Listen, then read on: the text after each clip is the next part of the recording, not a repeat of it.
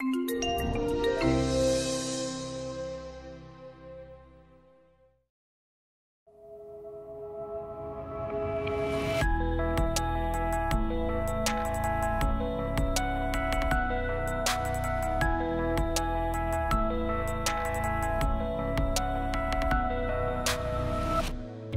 Adding pavement markings to rural two lane roads can reduce total crashes by 15% and severe crashes by 19%. It's one of many safety countermeasures County Engineer Brian Keierleber hopes will make a difference in Iowa. He spends his days looking for ways to make local roads safer and even goes to the scene of every fatal crash by going out and looking at these, sometimes you, you see little things that may have led to that. What can I do different for signing? What can I do different for my pavement markings? Was it a wet reflectivity issue?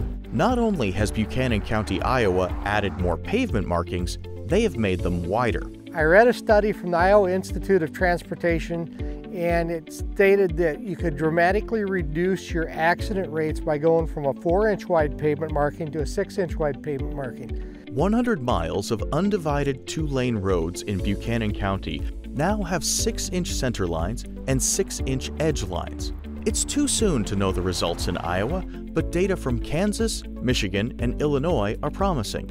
Wider edge lines reduced non winter crashes on two lane rural roads by 15 to 30 percent, and non winter crashes with fatalities or injuries by 15 to 37 percent. So, pavement markings are one of the least expensive countermeasures that we have in our toolbox. The edge lines in particular we find to have a huge benefit and they don't wear as quickly because they don't get traveled over. They also are important because from a human factor standpoint, that is where a driver will tend to look when they are drowsy. In addition, if you have an oncoming car and you're trying to avoid the glare, that is where your eyes will naturally go.